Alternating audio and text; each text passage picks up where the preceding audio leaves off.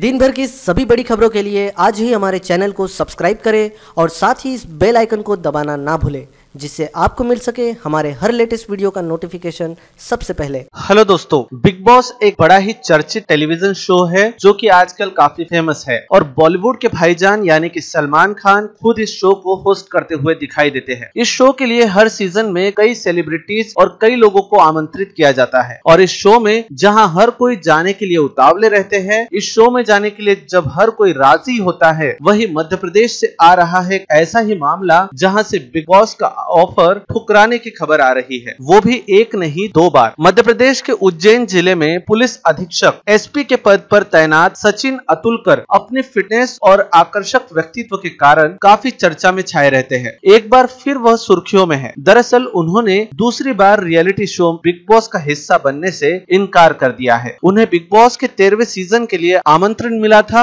लेकिन उन्होंने शासकीय सेवा और व्यस्तता का हवाला देते हुए इस ऑफ़र को ठुकरा दिया। है। सलमान खान के फ़ैन सचिन अतुलकर के सोशल मीडिया पर लाखों फ़ैन हैं और इसी कारण उन्हें बिग बॉस में शामिल होने के लिए दूसरी बार ऑफ़र दिया गया। उनकी कार्यशैली और कार्य करने का तरीका पुलिस विभाग के लिए एक मिसाल है। फिटनेस के मामले में पुलिस विभाग में उन्हें एक आदर्श के तौर पर देखा जाता है। अपनी फिटनेस को लेकर सजग अतुल कर दो से तीन घंटे जिम में बिताते हैं। इंस्टाग्राम पर उनके दो लाख फॉलोअर्स हैं और इसके अलावा गूगल और यूट्यूब पर भी उन्हें सर्च किया जाता है। सचिन अतुलकर का जन्म मध्य प्रदेश की राजधानी भोपाल में 8 अगस्त उन्नीस सौ पचासी को हुआ था और 2007 में केवल 22 साल की उम्र में वह आईपीएस अधिकारी बन गए थे। उन्हें बतौर एसपी उज्जैन तीसरा जिला मिला है। इससे पहले वह बालाघाट और सागर ज़िले में तैनात रह चुके हैं। उनके पिता सेवानिवृत्त वन अधिकारी है, जबकि उनका भाई भारतीय नौसेना में है। इस खबर में अभी के लिए बस इतना ही। वीडियो को लाइक करें और अपने दोस्तों के साथ व्हाट्सएप, फेसबुक पर